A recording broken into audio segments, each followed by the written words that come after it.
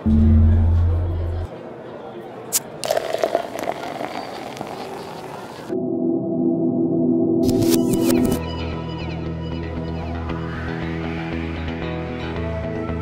Słodki, witam Państwa w Lemoniadzie, czyli naszym firmowym blogu. Dziś o konferencjach prasowych. Przez 10 lat pracy w mediach odwiedziłem ich ponad tysiąc i tylko kilka satysfakcjonowało mnie jako dziennikarza. Konferencja, jak sama nazwa mówi, powinna być prasowa, a niestety coraz częściej jest organizatorowa, bo nikt nie zwraca uwagi na media, a wszyscy zwracają uwagę na organizatorów.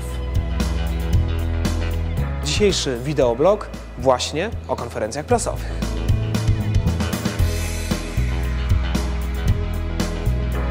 Konferencja prasowa powinna zaspokajać potrzeby dziennikarzy, powinna ułatwiać im pracę. Ustawienie sali jest bardzo ważne, nie należy zapominać, że dziennikarze telewizyjni i ich kamery muszą widzieć prelegentów. Dlatego organizatorzy powinni przygotować miejsce na kamery z dobrą widocznością.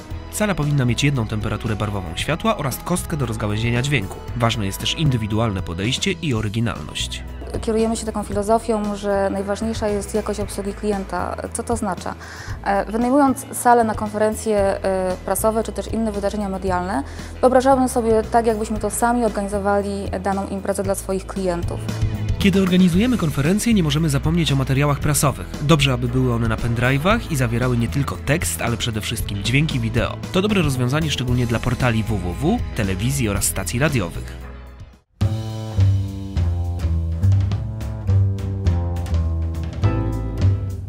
Przez 10 lat pracy w mediach odwiedziłem blisko tysiąc konferencji, no i niestety wszystkie te konferencje były do siebie bardzo podobne. A gdyby tak zrobić je bardzo multimedialnie, że na przykład na ekranie wyświetlają się filmy w trakcie konferencji i przez to jest ona mniej nudna, sala jest ładnie oświetlona, a w przestrzeni wydobywa się bezprzewodowy dźwięk na przykład dla operatorów kamer różnych telewizji.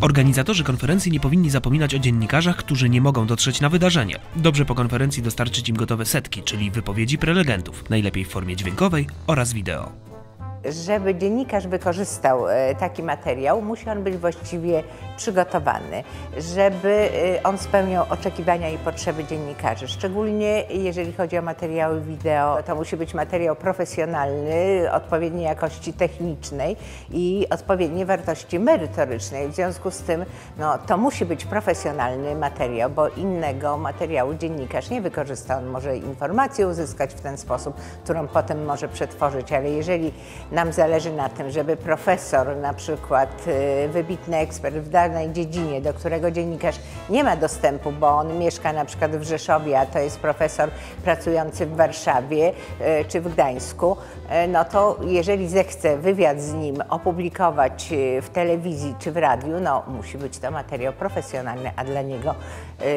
taka możliwość wykorzystania takiego autorytetu w swoim programie jest ogromnie cenna.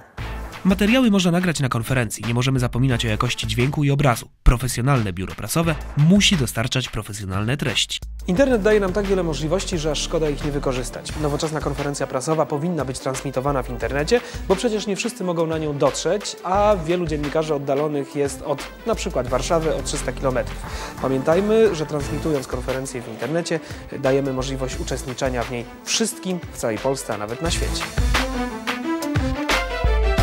We wrześniu 2010 roku przeprowadziliśmy ankietę wśród dziennikarzy, której wyniki potwierdziły, że dziennikarze często nie mogą dojechać na konferencję na przykład z powodu zbyt dużej odległości, a temat jest na tyle interesujący, że chętnie powiedzieliby o nim.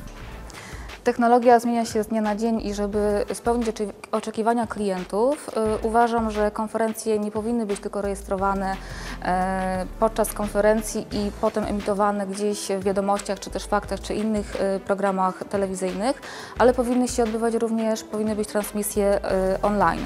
Wówczas dziennikarz, który nie miał możliwości akurat brania udziału, wzięcia udziału na konferencji w danym czasie, może wykorzystać dany materiał i zrobić jeszcze z tego jakiś użytek. Ja uważam, że organizatorzy konferencji, debat, spotkań, różnego rodzaju warsztatów e, dla dziennikarzy powinni wykorzystywać wszystkie możliwe nośniki informacji, żeby docierać do jak najszerszego grona e, dziennikarzy. I tutaj takim narzędziem najlepszym jest internet. E, My organizując wiele konferencji staramy się o to, żeby bezpośrednie transmisje tych konferencji odbywały się w internecie.